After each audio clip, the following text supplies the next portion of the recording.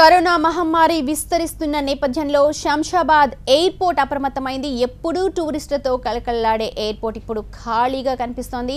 అక్కడికి వచ్చే వారికి పూర్తి స్థాయిలో స్క్రీనింగ్ పరీక్షలు నిర్వహిస్తున్నారు. అక్కడ డీటెయిల్స్ని మా ప్రతినిధి జ్యోతి అందిస్తారు.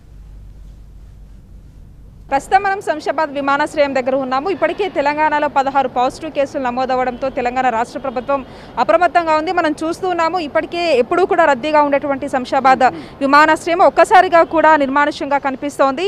అయితే ఇప్పుడు చాలా వరకు కూడా ఇంటర్నేషనల్ ఫ్లైట్స్ కూడా చాలా వరకు రద్దయ్యాయి. అదేవిధంగా డొమెస్టిక్ ఫ్లైట్స్లో కూడా రావాల్సిన దానికన్నా కూడా తక్కువగా వస్తున్నట్టుగా అయితే సమాచారం అందుతుంది.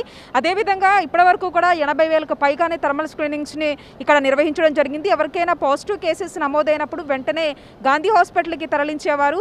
అయితే ఇక్కడ డొమెస్టిక్ ఫ్లైట్స్ విషయానికి వస్తే మాత్రం వాళ్ళకి కూడా టెంపరేచర్ ప్రకారంగా కూడా చెక్ చేస్తూ ఉన్నారు.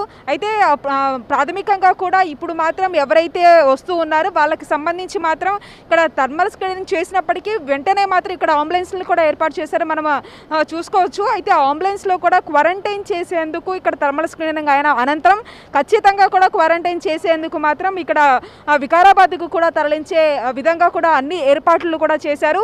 అయితే మేజర్గా కూడా ఇక్కడ ఎక్కువగా కూడా విదేశాల నుంచి వచ్చేటటువంటి ఫ్లైట్స్ ఏవైతే ఉంటాయో ఈ ఈ ఆదివారం ఇరవై రెండో తారీఖు నుంచి కూడా పూర్తిగా కూడా నిలిపివేసే అవకాశం అయితే కనిపిస్తోంది. అయితే ఒక రకంగా కూడా వివిధ బోర్డర్స్ దగ్గర నుంచి కూడా చెక్ పోస్టులను అక్కడ కేటాయించడం జరిగింది. ఎందుకంటే ఇప్పటివరకు వచ్చినటువంటి కేసెస్కి సంబంధించి మాత్రం ఇక్కడ థర్మల్ స్క్రీనింగ్ ద్వారా నిర్వహించి ఎవరికైతే పాజిటివ్ కేసెస్ వచ్చాయో ఎవరికైతే సిమ్టమ్స్ ఉన్నాయో వాళ్ళని గాంధీకి పంపించడం జరిగింది.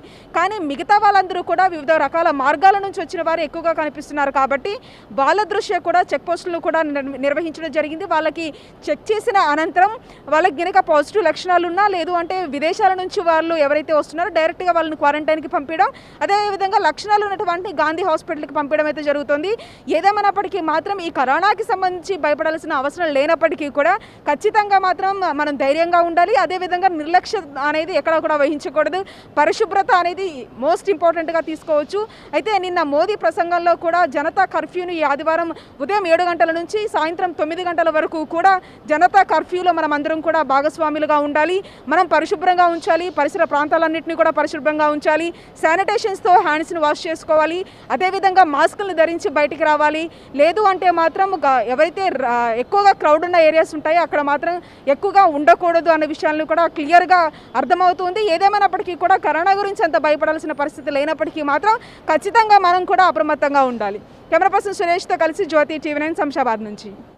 రైట్ నిజమే కరోనాకి మందు లేదు కానీ పరిశుభ్రత ఒక్కటే దాన్ని మనం దరిచేయనీయకుండా చేయగలం. డబ్ల్యూహెచ్ఓ సూచించినట్టుగా చేతులను శుభ్రంగా ఉంచుకున్నాం. అలాగే చేతుల్ని ముక్కు మొహము నోరుని ఎక్కువగా తాకనివ్వద్దు.